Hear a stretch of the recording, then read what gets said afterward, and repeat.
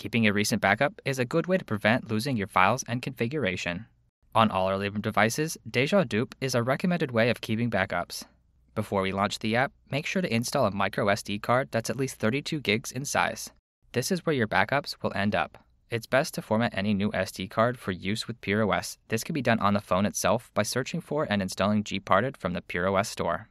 Don't have anything stored on the card as reformatting deletes everything on the SD. Next, open Gparted and enter your password. Keep in mind that every time you enter your password like this, you are now acting as an administrator. Be careful what you do. The main UI will display the PureOS file system MMCBLK0. Do not edit this as doing so may prevent your computer from booting, which would require a reflash to restore.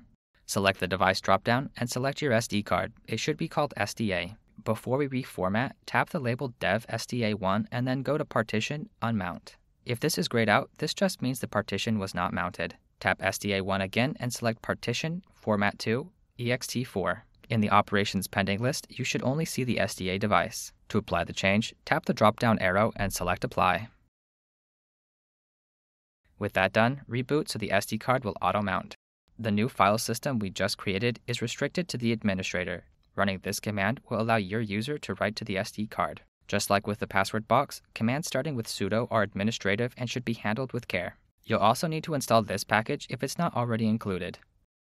Once you launch the app on your Librem device, you'll be greeted with this scheduling window. It's a good idea to come back to this window once we've configured the backup. Under the Save tab, this will show the folders that are going to be backed up. By default, the home folder is selected. This includes all major directories like desktop, documents, pictures, and videos, as well as most user settings like contacts. However, things like installed apps will not be backed up. If you don't want something backed up, simply add it to the ignore list.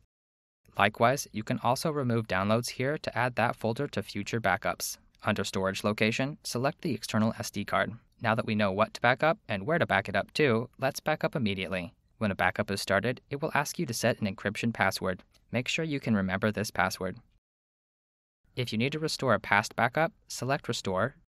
If you have multiple backups, you can select which one you want to restore by date.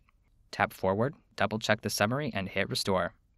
If the backup was encrypted, you'll be prompted for a password. Administer your own system and keep your backups current. Order your Librem computer at puri.sm.